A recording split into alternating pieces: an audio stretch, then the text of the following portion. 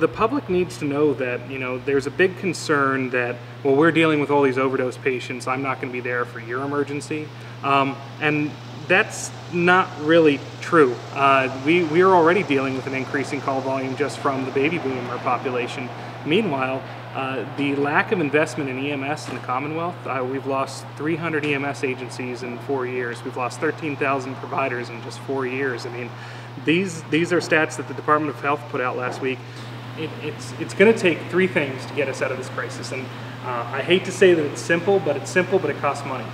We need to, one, make sure that we've stopped the pipeline to addiction. So that works involves working with police departments, working with doctors' offices, working with hospitals to make sure that opioids are given properly, that there's alternatives uh, that are explored. You know, uh, we talk about physical therapy, we talk about legalized marijuana, um, possible ways to reduce this as an addictive substance. So that's one. Um, we have to keep up the emergency response things and we have to develop kind of the hot handoffs where we're uh, giving a hospital, hey, uh, we need to get this person into addiction recovery. We've explained everything to them.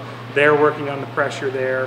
Um, the person has to accept it, of course, to get into recovery. But um, and then that that transition from recovery, you know, uh, we need to reintegrate them into society because if they're social pariahs, if they're seen out there that I am less of a human because I'm an addict, um, I don't have a pathway to a job. I don't have self-respect. I'm just going to contribute to crime. It's just I'm better off just using to escape uh, everything because there's no way back into society. Um, all of this costs money. And again, there's no will to, even right now, adequately fund EMS. So why would there be a will to say, well, you're an addict, um, why should I pay for you to uh, get a job and get clean? Can't you just do that on your own? Um, unless we're willing to invest in it, those three things won't happen. So the way out's clear, we just have to be willing to actually do it.